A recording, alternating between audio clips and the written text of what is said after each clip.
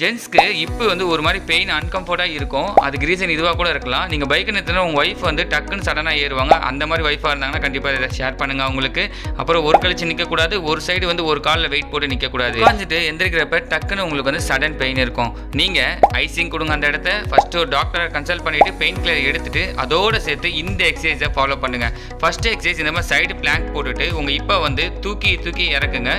இறக்குறப்ப வந்து உங்களோட இப்பில் வந்து ஸ்ட்ரென்தன் ஆகிற மாதிரி ஃபீல் ஆகும். இதை வந்து ஃபிஃப்டீன் டைம்ஸ் த்ரீ செட் பண்ணுங்கள் செகண்ட் எக்ஸசைஸ் வந்து இந்த மாதிரி வந்து நார்மலாக உங்கள் கையை வந்து தலைக்கு வச்சுட்டு நார்மலாக உங்கள் கை இப்போ வந்து தூக்கி தூக்கி இருக்குங்க உங்கள் டோ பாருங்கள் என்னோட டோ ஆங்கிள் பாருங்கள் அது வந்து டவுன்வர்டாக ஃபேஸ் பண்ணியிருக்கணும். இந்த மாதிரி பண்ணி தூக்குறப்ப தான் உங்கள் இப்பில் கரெக்டாக வந்து ஸ்ட்ரென்தன் ஆகும். தேர்ட் எக்ஸசைஸ் வந்து பெல்விக் பிரிட்ஜிங்கோட சிங்கிள் ரைஸ் பண்ணணும். இது பண்ணுறப்ப வந்து சும்மா அப்படியே தக தக தக பேக்கில் ஃபுல் பெயின் வரும். கண்டிப்பாக நீங்கள் வந்து பண்ணணும். ஃபிஃப்டீன் டைம்ஸு த்ரீ செட்டு இதை பண்ணிட்டு வந்தீங்கன்னாவே போதும். உங்கள் இப் பெயின்லேருந்து ரெடியூஸ் ஆகும். பெயின் அக்ரிவேட் ஆச்சுன்னா கண்டிப்பாக ஒரு எக்ஸ்ரே எடுத்து பார்த்துருங்க. ஃபோர்த் எக்ஸசைஸ் வந்து இந்த குவார்டர் பேட் பொசிஷன் இருந்தாலும் குழந்தை அந்த ஃபோர்ஸுக்கு போயிட்டு நீங்கள் ஜஸ்ட் உங்கள் காலை வந்து சைட் ரைஸ் பண்ணுங்கள் நீ பெண்டுங்கோட இது பண்ணிங்கனாவே போதும் உங்களுக்கு ஸ்ட்ரென்தன் ஆகும். பிடிச்சிருந்தா லைக் பண்ணிக்கோங்க ஷேர் பண்ண மறந்துடாதீங்க. பாய்